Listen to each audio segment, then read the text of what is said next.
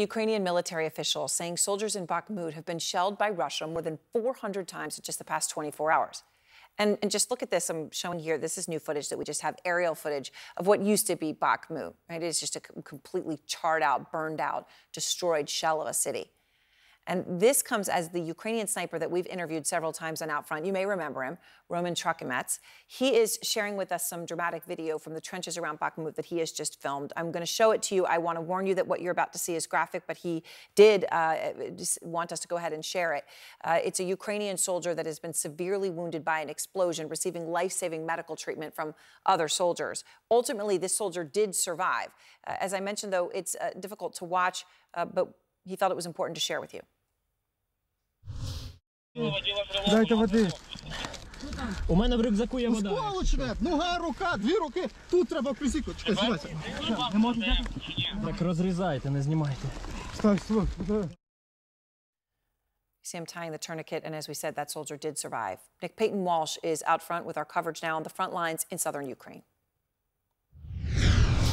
Occupied Ukraine is aflame and evacuating its civilians. Russia's wholesale departure can't come soon enough for frontline town Orikhiv, ravaged by Moscow, where four missiles hit on Thursday alone. Rescuers left guessing what the constant bangs mean and have done. See people just down the road here carrying on life as per normal despite dust in the sky around us. It uh,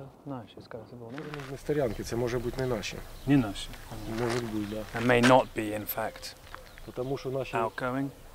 отсюда може ще кілометра три стоять і все, остання лінія. Тут любе время дня і ночі. Тут не вибирають іменно там в 5 чи в 6. He's saying it doesn't in particular time of day when these sort of things start. Could be any time at all, frankly.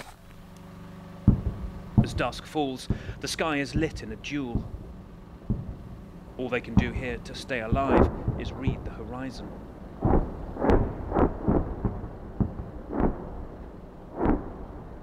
Some of it perhaps further south into occupied areas than a week earlier. But so much of it also very close. Dawn is often jarring. We hear a jet overhead, the slowly building, grating sound of damage moving towards you.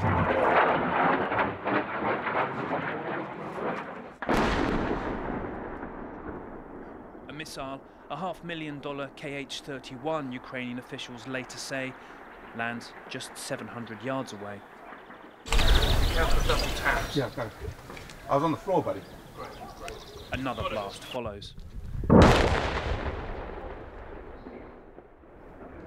Either jet entrails or anti aircraft fire settle to shape a Z in the air, the symbol of Russia's invasion.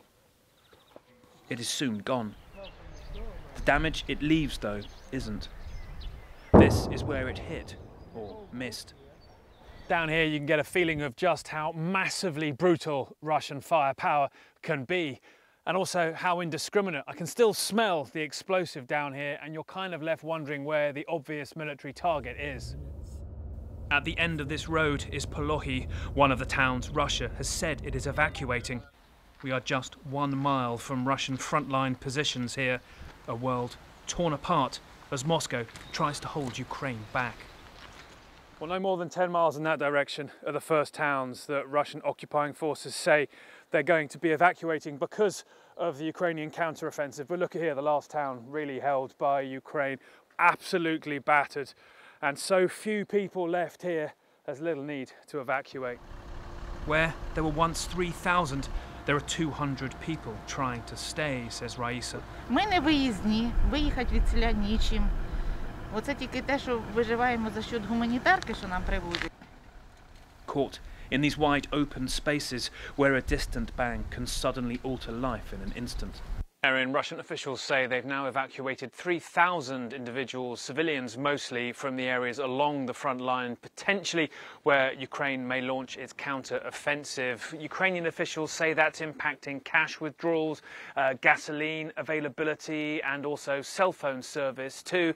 And even that one particular town, Skadovsk, to the west of Crimea, may have seen a lot of people leaving it recently. Most importantly, though, many Ukrainians here, I think, are bracing themselves for a night night of maybe more missile strikes, drone strikes as well. A lot of them being intercepted by air defense over the past nights. But tomorrow for Russia, particularly important. It's Victory Day, the 9th of May. It'll be celebrated in Moscow itself. And we sadly know that Moscow tend to mark anniversaries here in Ukraine with a bid to create more bloodshed. Erin? Thank you very much, Nick, from Zaporizhzhia tonight. I want to go straight now to the retired Army Lieutenant General Mark Hertling. And General Hertling, part of here what Nick's talking about, Russia evacuating 3,000 people from the front lines in Zaporizhzhia, near where Nick is tonight, due to increased shelling. Uh, they've got lines of buses. We're showing them. They're using those to transport people away. Now, Zaporizhzhia, of course, has been seen as a major target, likely in the coming Ukrainian counteroffensive. So, what do you think Russia is doing here?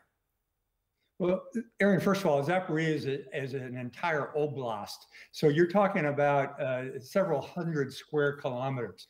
The make no mistake, Russia is not uh, evacuating these people for humanitarian reasons. They haven't done that anywhere else. Right. Uh, what they're doing is taking people, citizens, away so that they don't help uh, the uh, incoming Ukrainian forces that are coming in. You know, it's the same thing the Nazis did in France, where they killed uh, resistance fighters. Uh, they uh, moved fighters away so that they couldn't help the Allies when they were coming into France and then later into Germany. So that's what they're doing. They're, they're getting rid of the population so they can't help and spot where Russians are. They can't tell the Ukrainian forces where the defensive positions are. They can't point out sniper positions. So those are the kind of things that are going on right now. Well, I think it's important to be clear, right? There is nothing humanitarian about it, as you lay out. now, another thing I wanted to ask you about, because uh, Yevgeny Prigozhin, the head of the Wagner Group, is now saying his troops are getting ammunition and that they're advancing in Bakhmut. Now, the reason I'm mentioning this is that, you know, you and I remember talking just days ago. He was warning he was going to pull all of his troops out of Bakhmut uh, this week. Uh, because they were losing and they couldn't win and they had no ammunition and no, no support, nothing from the Russian military. Now all of a sudden they're advancing and they've got the ammo. What do you read into that? I read into it that it is more Russian and Kremlin drama.